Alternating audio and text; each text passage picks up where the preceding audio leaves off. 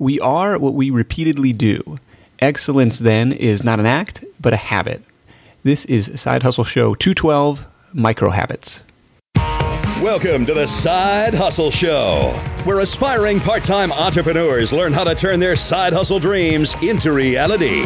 Because your 9 to 5 may make you a living, but your 5 to 9 makes you alive. And now, your host, Nick Loper. What's up? What's up? Nick Loper here. Welcome to the Side Hustle Show. Special solo show for you today. And I kicked it off with what I think is one of the most overused quotes in the history of history and definitely in the history of online business. And uh, it's overused because it's good, at least the first part. Aristotle, I think, was onto something for sure. We are what we repeatedly do. I agree with that 100%. The issue I have is with the second part. Excellence then is not an act, but a habit. There's no such habit called excellence. You can't wake up tomorrow and start your morning routine with a quick session of excellence before you go grab breakfast. The problem is we fill our days with a lot of less than excellent things. And sometimes that's intentional and fully conscious. Yeah, I'm going to have that donut and grande frappuccino. Yeah, I'm going to kill two hours watching The Blacklist on Netflix. Not that any of that isn't excellent in its own right, just for the context of health and productivity and building a side hustle. Maybe not so much. But other times it's more accidental. Like when you find yourself 10 years deep into a career you're just kind of meh about. Or when you find yourself at 30, 40, 50 years old and you're in debt and you realize a newborn baby has a higher net worth than you. Now, I've been doing a lot of thinking lately about setting New Year's resolutions or goals for the year, which I think is only natural when the calendar flips. But I really had a hard time coming up with a smart goal or a set of smart goals for the year that I was really excited about it's easy to pick a number out of the sky, like I want to make a million dollars, or I want to reach 100,000 subscribers, or I want to become a number one New York Times bestseller. And those kind of goals are great if they motivate you and you can reverse engineer a path to get there.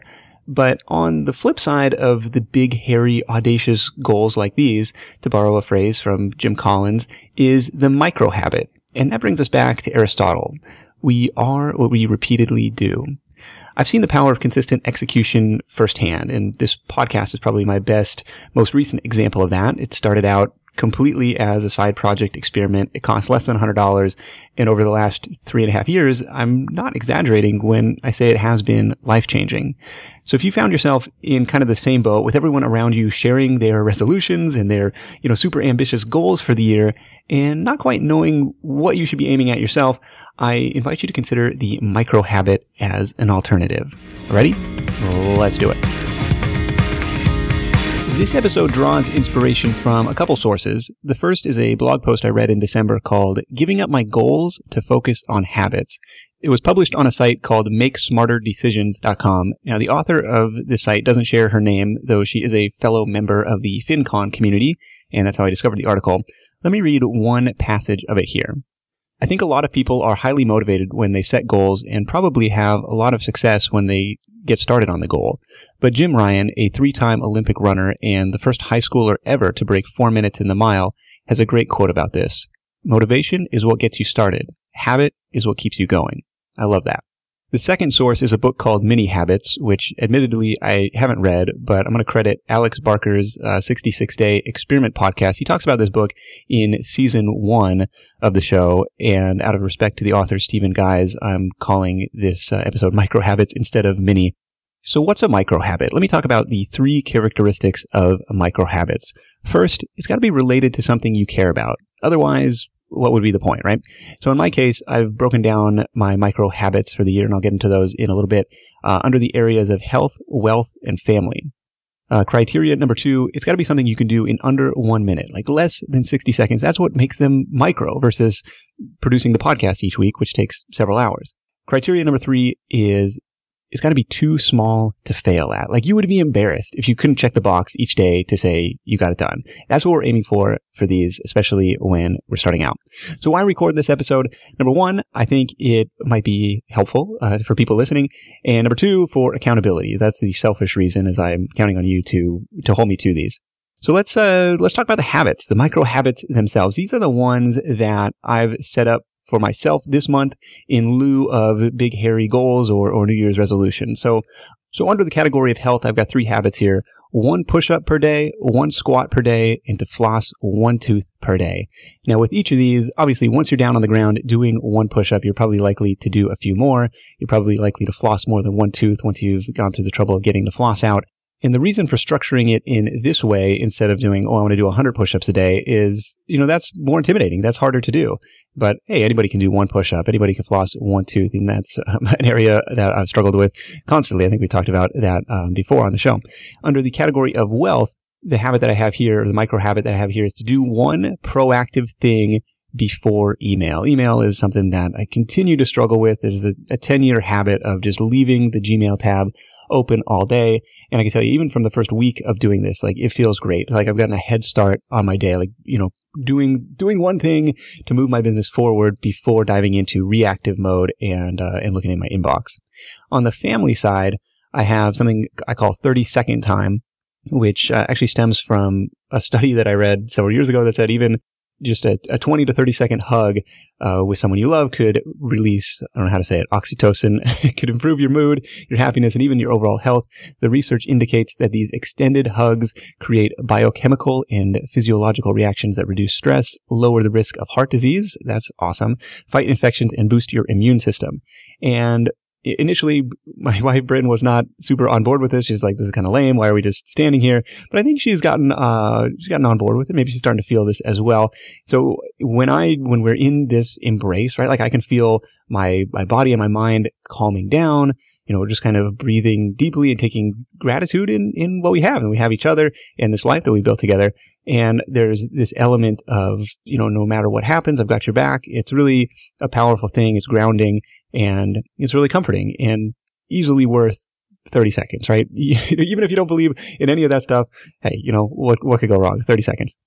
So those are my five micro habits. It was one push up, one squat, floss, one tooth, do one proactive thing before checking email and 30 second time. Now you're welcome to borrow those or come up with your own. Just remember the rules related to something that you care about, something you can do in under one minute, and too small to not do. So other examples might include, you know, drinking a glass of water right when you get up, reading one page of a book, making the bed, finishing your shower with cold water, you know, doing a one minute meditation. The significance of any of these micro habits by itself is probably negligible, and I'll be the first to admit that. Even all five of them added up might not make a huge impact when you look at only the habits themselves, right? Just doing this isn't going to make you a six pack. It's not going to make you a millionaire. But where I believe the magic is, is in the tiny feeling of accomplishment in having done them. It's like a mental hack. I said this thing was important to me. I said I do it. And look, I did it. I think that can build momentum to bigger and better things because you've taken that first step in convincing yourself you're the type of person that takes action, follows through, gets it done. My friend Mihao, who's featured in the book The Slight Edge, calls this the identity habit, and it's probably more powerful than any other individual action. I think setting up these too small to fail micro habits can be a stepping stone to building your own identity habit, that you're the kind of person that does fill in the blank. Take the cold shower thing, for example. Potential health benefits aside, it's a pretty loud reminder that you're going to accomplish what you set out to, even if it's uncomfortable in the near term. So why only five? The idea here is to set yourself up for success. Remember, too small to fail. If I pick 25 different things to do every day, all of a sudden that becomes overwhelming and stressful and intimidating, and now maybe I don't check the box. One quick note about structure. A lot of resolutions are about what you're not going to do, what you're not allowed to do. I'm going to cut out sugar. I'm going to cut out carbs. I'm going to cut out alcohol. But these micro habits, at least in my case, are structured in a way that they're about doing uh, something positive to do rather than what not to do.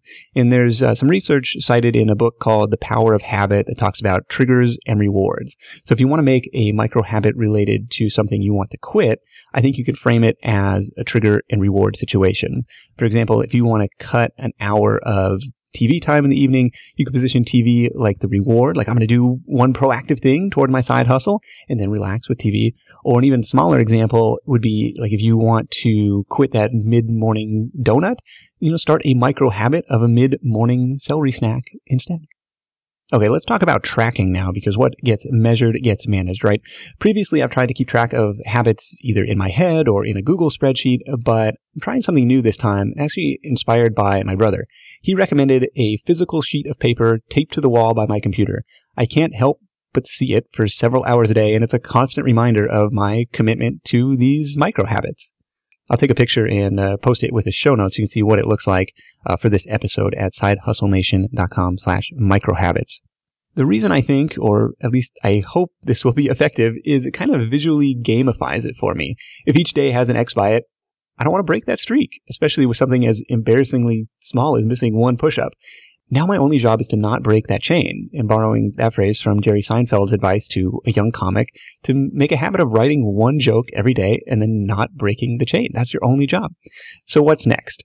These are the micro habits I'm working on this month, and I might add to them or try different ones for the rest of the year, but I'm excited to give this new framework a shot. Hopefully you found some value and insight from this episode, and I'm counting on you to hold me accountable as well. Let me know what micro habits you come up with in the comments for this episode at sidehustlenation.com slash microhabits, and I'll do my best to circle back and hold you to those as well. Thank you so much for tuning in. Until next time, let's go out there and make something happen, and I'll catch you in the next edition of The Side Hustle Show. Hustle on. Thanks for listening to The Side Hustle Show at www.sidehustlenation.com.